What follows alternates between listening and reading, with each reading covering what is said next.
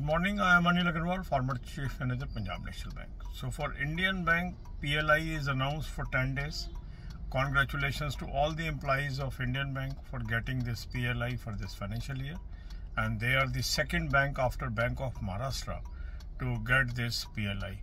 For other banks, as and when we will get the information, I will update. God bless you all. अब यही बातें हम हिंदी में करेंगे Indian Bank के employees को P.L.I. मिल गया है दस दिन का पीएलआई मिला है। आपको बहुत बहुत मुबारकबाद। इंडियन बैंक दूसरा पब्लिक सेक्टर बैंक है, जिसके एम्प्लॉइज को पीएलआई मिला है। पहला था बैंक ऑफ़ महाराष्ट्र अन्य बैंकों की जब जब सूचना मिलती जाएगी, मैं आपको अपडेट करूँगा। God bless you all